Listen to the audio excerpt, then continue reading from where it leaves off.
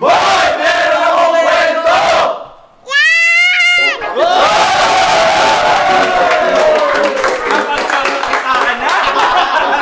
Ang galing!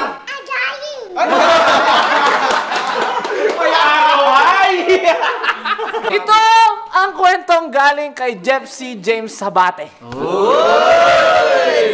Ito ang kwento ng seaman na nag apply na makasakay ng barko.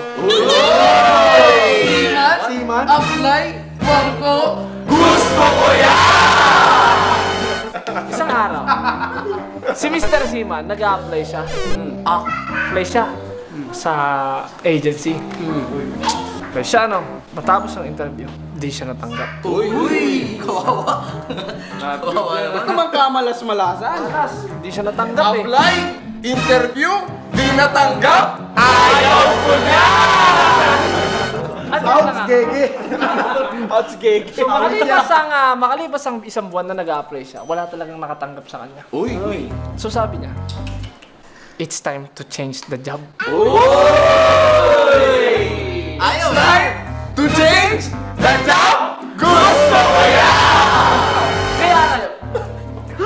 naisipan niyang maging isang albularyo. Siman! Ang lapit ha? Ang lapit! malapit, malapit. Naisipan ng albularyo. Yay! Ngayon, ngayon, tumambay siya sa isang lugar sa Makati. Uy! Uy! Tumambay siya sa isang lugar sa Makati, sulat siya sa karatula. Pag gagamutin ko ang nararamdaman nyo, pag gumaling kayo, 500. Pag di kayo gumaling, bigyan ko kayo 1,000. Good business! Good deal! Good deal. Last part. Good deal! No. Maganda bigay, maganda, maganda. Eh ngayon, may isang doktor na nakakita Uy! ng ginagawa ng nakakasulat sa karatula. Uy! Uy! Uy! Duda ako sa expertise nito ah. Doktor siya eh! Doktor siya eh. Subukan ko nga. Sabi ng doktor, Paano ang albularyo? Nawalan ho kasi akong panlasa. Sabi. Sabi ngayon ng albularyo, makikiabot yung bote dyan. Kinuha yung bote. Labas mo yung dila mo, Noy. Noy? Noy, Noy, Noy, ito tawag. Labas- Hindi niya alam doktor eh! Hindi niya alam, doktor eh. Labas mo dila mo, Noy.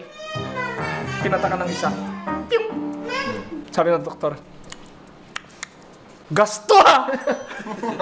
Magaling ka na! Magaling ka na! Magaling ka na! Na! Pengen 500 ngayon. Oh, bayad ka! Bayad ka! Bayad ka! Nautakan! Sabi ng doktor, nautakan ako nun ah. Bukas, babalikan kita. Yan! Kinabukasan. Gagante! Gagante. Gagante! Kinabukasan. Dumating ulit doktor. Lumapit siya.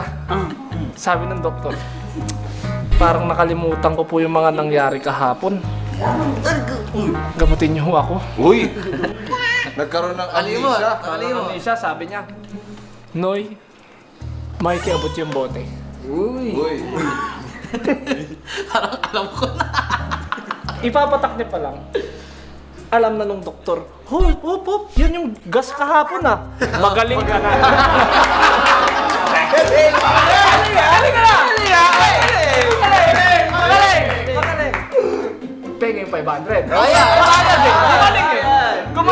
Sabi niya, last na to. Bukas, babalikan kita. Pag ako na pagaling mo, magre-resign ako.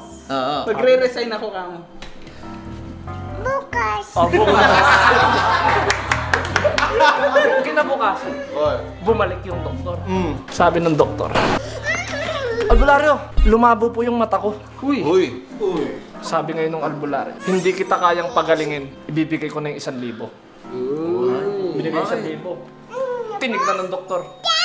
500 lang to sir ah. Magaling ka.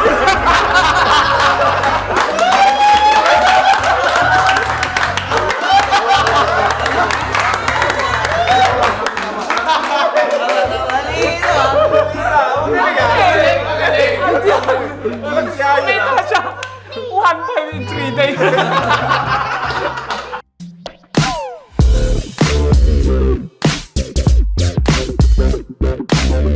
Sobrang bait ba natin? Bakit? Parang kukunin na tayo ng liwanag dito sa... Sobrang liwanag eh. So on the way kami ngayon mga paano dun sa ang tropa namin ay unti-unti nang naabot ang kanyang pangarap. Kung naalala nyo nung day one, It's time na ba, Bat? It's time na. Tara na, putangin na mo. Sabi niya, it's time na bud. Sabi ko, it's time na buddy. At ito na yung tunay na it's time sa buhay ni Dudot ngayong oras na to. It's time. So ito na ano, kasi magpe-perform ho siya sa Wish Bus. Dito ho nakasalalay kung mapapalayas na ho si Dudut sa Payamansion May dahil usapan ba kayo? may usapan kami. Sabi ko, isigaw mo, Team Payaman, subscribe to Kong TV, 10 million subscribers. Sabi ko, sabihin niya, Boss Apparel, 700 pesos only. Di ba magsisimula yung nararahuyo? Boss Apparel, 500 pesos only. Hindi priority yung lyrics nung nararahuyo. Tapos hindi na sasabihin dun yung minus Midas Records. Oo. Yung clothing. So mga priority, yung mga brand. Ang pinaka-importante kong bilin sa kanya sa mundang huli, Donsi, Donsi. so yun yung mga bili ko kay Dudot para... hindi nagawa, ano mangyayari? Layas. Layas. Eh, laging wala eh. Inaabot yung pangarap. Sabi ko, hindi pe, pwede yan. Yung, Wala may kapalit. may kapalit. Pag ikaw... Ano, dapat hindi nila sasabihin yung Mates, been wondering. Oo. Alam mo ano? Ano? Payaman, homemade sauce. Dapat na sa wish. Baka mamaya buong kanta, puro team pa naman. Eh, mga Gusto brand. mawaraw yun. Ako'y napapadonsi. At ganun ang ine-expect ni Gong TV, mga kaibigan. Hindi yan nangyari. Layas. Oh, Layas. it's, it's time na bad. Uwi ka na. Uwi ka na. Sa akin, shoutout ko yung Wish. Ito pala yung soundtrack ng Donsi. Pakinggan nyo. Don't see, don't see, doon ka na sa juicy. Don't see, don't see. So, inaanyaya ko kayo na ako, kakantayin ko sa Wish ng live yan. Donsi, Donsi! Ah? Ito po, pakinan to mayayabang. Tingnan yung yayabang nyo ah. Paano yan, may COVID ngayon? Pwede kakanta rin si Dodo tsaka si Matayos na nakamas.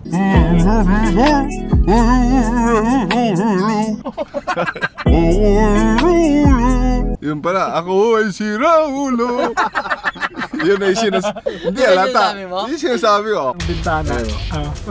Umaamba-amba pa mga po. Hindi naman ako nakikita. Pero umaamba pa si Hindi naman tingin sa mata ko. Umaamba pa si Dato. Umaamba pa, akala mo So after ng ah, apat na oras na biyahe mga paano, sa wakas nandito na ho kami ngayon sa kung saan na magwi-wish ba sila Dudut lang at Matayos at ah, it's time na ba para malaman kung ah, mananatili pa sa bahay ng Timpayaman. Yung wish bus yan na yun, di ba? Yan na yun. Dot! Yung wish bus, naging wish gas. Sa harap daw ba? Ayun o. Ayan na. Hoy! Anong ginagawa mo rito? Si Dudut yan eh! Dudut? Ay, Dudut! mo! Hindi niya ako narinig eh. Sabi ko, niya, pero umiti siya eh. Kita pet mo, gago ka eh. Idol ko yan eh. Idol ko yan siya eh. Sino yan siya nga ulit? Nagda-dance-dance yan eh. Sino yan? Wa- Joaquin? Ang pogi ng kasama niya eh. Oo, Pogi. Hi, Pogi! Nagsuot siya ang boss eh, boss. Anong boss? Boss daw eh. Fuck you, Dudu! So, tatry namin na makita kami sa frame. Nakakit mo pa yung mga gulong-gulong. Stage father oh. Tara.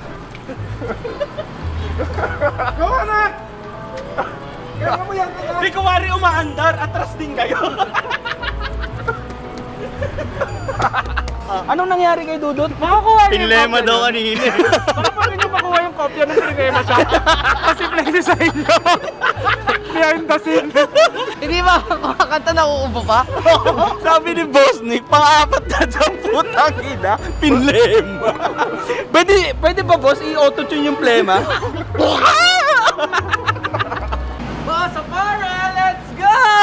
Nakita mo? Okay, ito. Kita mo!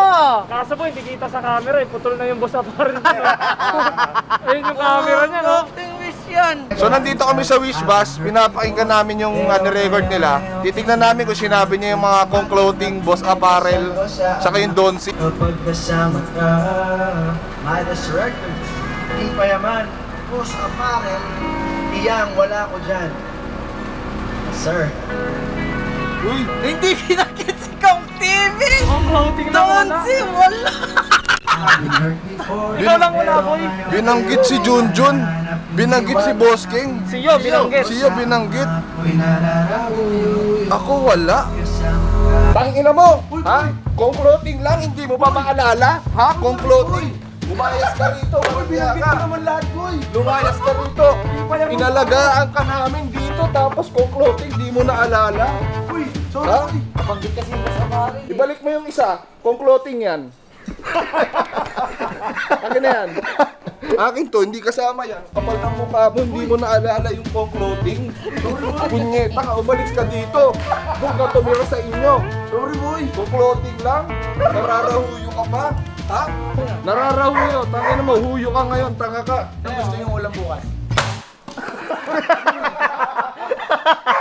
Gusto mo ikaw, boy? Sabi ko sa'yo, tang ina mo eh.